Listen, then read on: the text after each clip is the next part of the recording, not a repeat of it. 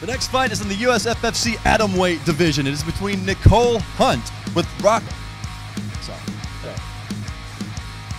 Okay, the next bout is in the female division, the Atomweight division. It is between Nichole Hunt with Real American Grappling taking on Rachel Sazoff out of New Jersey. Well, Rachel Sazoff traveled all the way down from New Jersey. She trains there with Ricardo Almeida, former UFC vet, a legend. She makes her way all the way down here to take on Nichole Hunt, who is highly touted as possibly that next big female athlete in mixed martial arts. You know, Invicta, they have handpicked a ton of fighters, of competitors from the U.S. Freedom Fighter roster, and she looks to be the next in that list. These ladies are small, but they pack a big punch. Nichole Hunt, Rachel Sazoff, happening right now on USFFC 28. All right, Rachel Sazoff, Nichole Hunt, face off in the center of the cage. Professional atom weight bout underway. We've talked about it before. U.S. Freedom Fighter is known for producing that top level WMMA talent. And I think that this is uh, one of those situations, one of those instances where you've got Nichole Hunt looking for that next level, trying to take it uh, all the way to the top.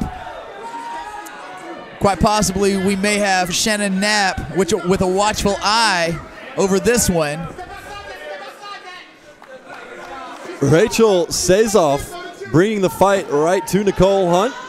Jabs and punches down the middle. Both ladies showing some good head movement. The southpaw Sazoff does not appear to have nearly uh, the, the, the frame and the size of uh, Rachel Sazoff. Uh, throwing a few shots out there, uh, but Nichole Hunt just shrugging those off with ease. Yeah, Nichole Hunt, maybe the more physical of the two, but you know, Rachel Sazoff, like Cyrus reminded us, is a veteran of seven fights so far, and this is no, this is not her first rodeo. And again, uh, training with Ricardo Almeida, a legend in Yes. the sport. Yeah, absolutely. Ricardo Almeida, one of the renowned jiu-jitsu guys, pioneers of the sport in mixed martial arts. And again, taking nothing away from Rachel Sazoff, she is landing a few shots, but but but Nichole Hunt just walking through everything that Sazoff has to offer. Well, the Hunt has the reach advantage, and that's apparent already, and I think she's using it so far pretty well. Sazoff might have to get in a little bit closer to make those shots land. Well, and it appears as though the right hook seems to be the the, the best uh, the best technique. Uh, you know, for her right here, it allows her to reach out there and land without uh, exposing too much of her chin. Rachel Sazoff, perhaps the smaller of the two, but still the one pressing forward and moving the action. Here's a little bit of uh, discoloration uh, forming around the right eye of Rachel Sazoff. And, and Hunt has a pretty crisp right straight and a left jab that she's doing a good Uh, job of firing big out shot there. Sazoff to her guard. Now let's find out how this Ricardo Almeida Jiu-Jitsu pans out here in round one of this WMMA showcase. Right now, Hunt dropping some big shots from up top. They are finding their mark. Sazoff taking some punishment here from the bottom position. Hunt appears to be just the heavier of the two, able to kind of use her weight advantage to keep her opponent Well, down. half guard position from Rachel Sazoff, scooping that, that left arm inside the leg. I don't know if it's necessarily a, a great option in mixed martial arts where the, the right hand and, and more uh, dangerously, the right elbow is wide open to land. Professional matchup right here at the atom weight of 105 pounds. So far, Nichole Hunt seems to be landing the tougher of the shots between the two, punishing the midsection of Rachel Sazoff right here at USFFC 28.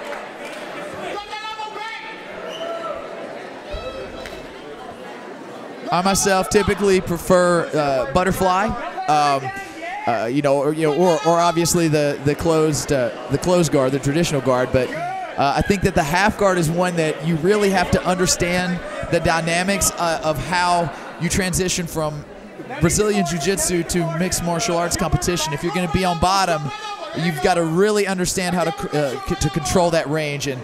And uh, Sazoff is, is is not answering that uh, that riddle just yet. So far, the top control from Nichole Hunt with Real American Grappling has really smothered her opponent, Rachel Sazoff, struggling to amount any offense or any positional improvement from the bottom so far. Nichole Hunt en route to taking this first round of this professional matchup. And again, from half guard, uh, another crucial portion of using that half guard is that you need the, the close arm underhook, something that she has not secured during any portion of this. Uh, the only thing that Sazoff is doing is surviving, which is uh, which is, is not going to be conducive to winning this bout. Nope, you gotta do a little more than survive. Sazoff's gonna have to get out from underneath her opponent right now at this point in time. It doesn't appear that she's gonna be able to get any offense or submission attempts done. At least not yet. And Nichole again- Hunt smothering her. And again, that left arm of Sazoff uh, is underhooked. Uh, she needs to regain that underhook if she's going to have any success with the half guard. That is the most uh, crucial element of, of that position. All right, this first round is over and in the books. Uh, you know, Sazoff is going to have to, you know, really get up on those wheels, move a lot when you are at Yeah. a power deficit, uh, like we're seeing here. That's your only option. It's just like when we hit to the ground. If you're going to be on your back, you've got to be super, super aggressive with that guard if you're going to be successful. Yep. Here we go, round number two. Rachel Sazoff and Nichole Hunt. Nichole Hunt firing that right hand right down the pipe, at times connecting with her opponent Rachel Sazoff, throwing combinations, leading with the jab. You've got a southpaw versus orthodox, or southpaw versus orthodox matchup here, which can kind of lead to an awkward exchange sometimes. Both people using their jabs to kind of gauge the distance, and that can lead to uh, some some odd exchanges at times. Nice kick there by Sazoff. Lands on his mark. Continues to toll forward. Again, I think the, the money is in the right hook of Sazoff. It's something that she's shown she's had the range uh, uh, for. But Hunt answering back here with, with hard shots, much harder uh, than what we're seeing from, from Sazoff. See there, I mean, kick, Sazoff almost probing with that right leg, and Hunt isn't playing around. She delivers back hard. Yeah, that right that right punch from Nichole Hunt, probably her most strongest weapon on her feet so far. And But Sazoff not deterred, still pressing forward against her larger opponent. There you go. She's trying to come. Triangulate movers. Lands a nice left straight of her own. Unfazed though is Nichole Hunt, who like you said is firing back with some shots that seem to have a little more sting to them. Sure, and, and you know, again, Sazoff tolling forward, but as soon as, as Hunt feels her range, she is firing off and firing off hard. And it's like playing with fire out there. All it takes is one right there on the chin.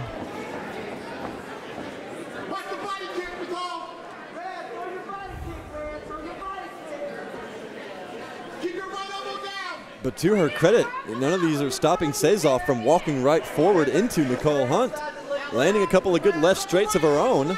Maybe not with as much damage behind them, but still they're landing.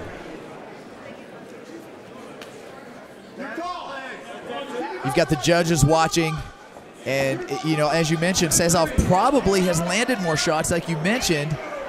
Uh, that is up until now, but but the judges can clearly see that the the effectiveness is just not there.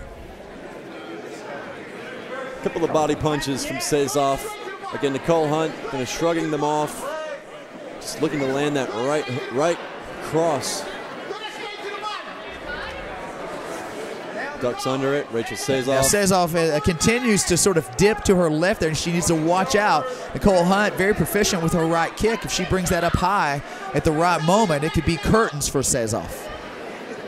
Sezoff, the left-hander, will occasionally sneak that southpaw punch in there, courtesy of a left straight, but not taking too much damage on her opponent, Nichole Hunt.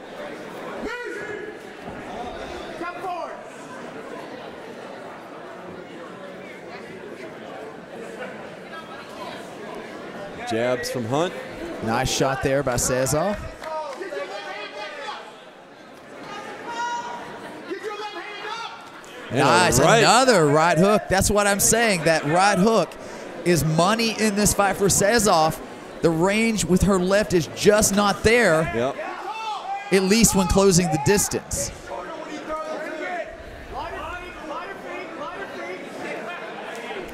Both of these women happy to exchange in the center of the cage.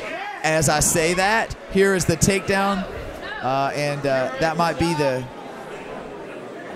the the crucial moment in this fight. Sazoff is going to have to really, really work that half guard position, get the sweep in order to have a chance in this round. I started to think actually when the, you know uh, from the striking portion that Sazoff may have, have been slightly ahead because she had been so active, and then this this happens. And Yeah. and again, watch see the right arm uh, blocked there uh, by the shin of Nichole Hunt, leaving the face of Sazoff, Sazoff wide open to that barrage of strikes. Yeah, bad position for Rachel Sazoff. We saw this in the first round, unable to get out from underneath her opponent, smothering top control. Here we go. And she's Sazoff gonna have to scooping again. Straighten the arm and drop it.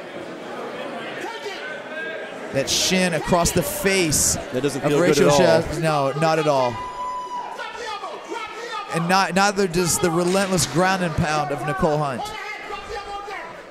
You see the left underhook of, of Sazoff. You know, that's something that you absolutely need to to push for. You need to maintain that control using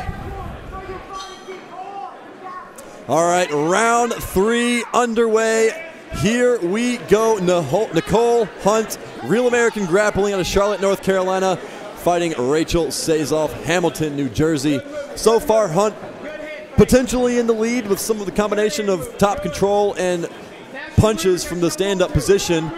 But let me tell you, Rachel Sazoff is still pressing forward, still throw, fighting back, throwing combinations of her own, and this is a pretty scrappy fight so far.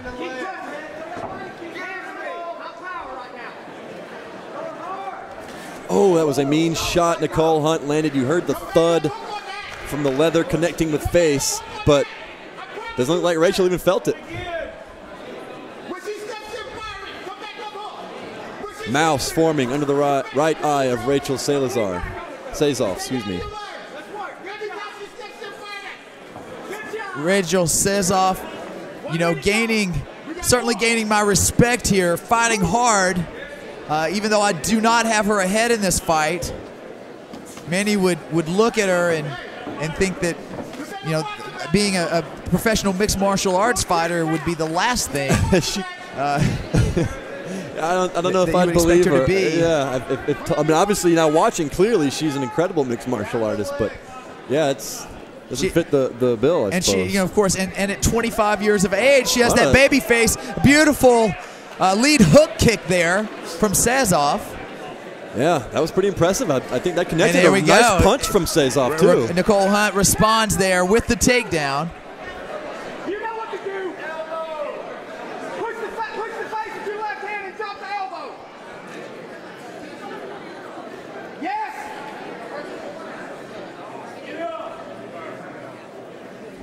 Hunt this time in crossbody position, Set knees to the body, Nichole. applying pressure to Sazoff, who is cool, calm, and collected, but again must move here We got left elbow. if she- she wants to uh, have any chance of, of taking this fight.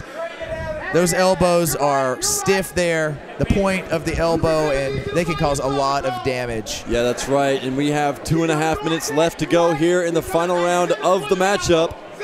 Rachel Sazoff going to have to dig deep down inside to find the strength to overcome a, an opponent that probably has is slightly up on the judges' scorecards.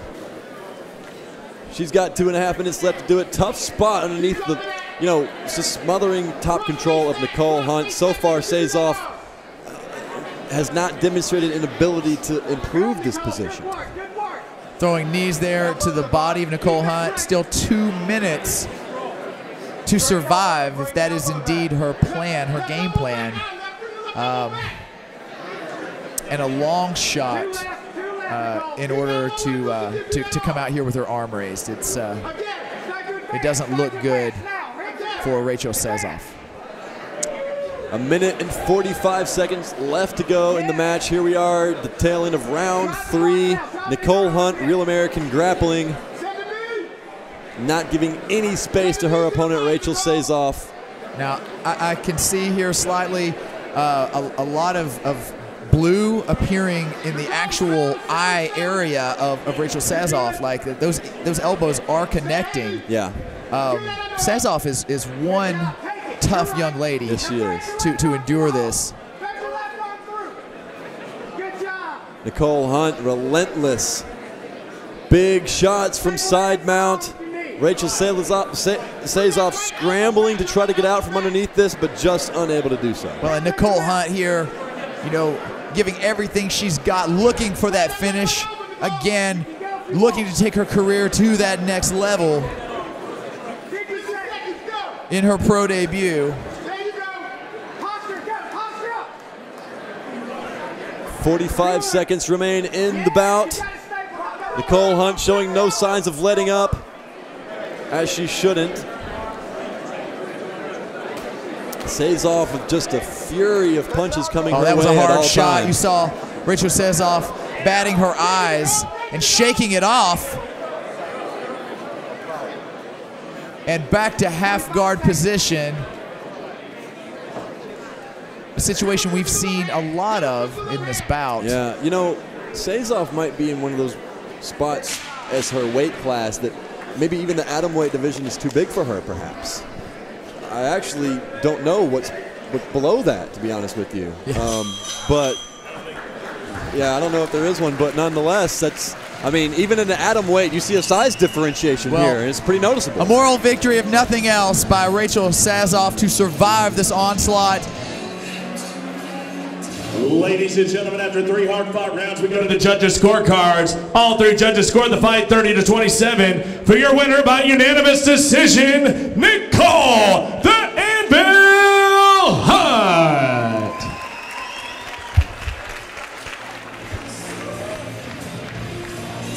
Nichole, you are victorious in your professional mixed martial arts debut over a veteran in Rachel Sazoff. Talk about this fight.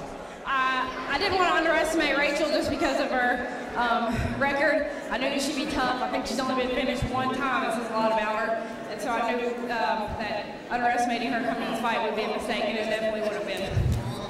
You could tell right from the start that you possess the power advantage. You push forward. But as time went on, Rachel Sazoff, she began to catch her stride, land a few shots, but it was the ground that made the difference. How does it feel to be so dominant over a Cardo Almeida protege? Um, I definitely try to work my ground a lot just because I feel like um, wrestling is what a, a lot of people lack in. So I want that to be my strong point. So you know that this U.S. Freedom Fighter cage has been host to a ton of WMMA talent. We saw Alexa Conners. Okay, we saw Ashley Greenway. All, all on the roster of Invicta FC. If there's something that you would like to say to Shannon Knapp, I'm going to give you that opportunity now. I'm definitely working my way towards that. I don't want to just be the local hero. And uh, yeah, I'm looking for Invicta the next step pretty soon. Well, there you have it. Everybody, hands together for your winner, Nichole